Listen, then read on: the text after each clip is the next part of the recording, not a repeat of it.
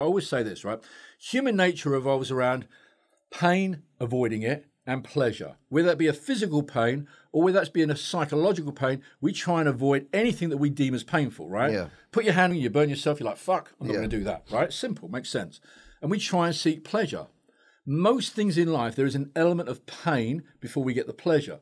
So, for example, we go to work, we'll call that pain. To get paid to buy nice things, we'll call that pleasure. Pleasure, yeah. That's how it works. With cocaine, unfortunately, the drivers are switched around the other way. There is a perception of the pleasure.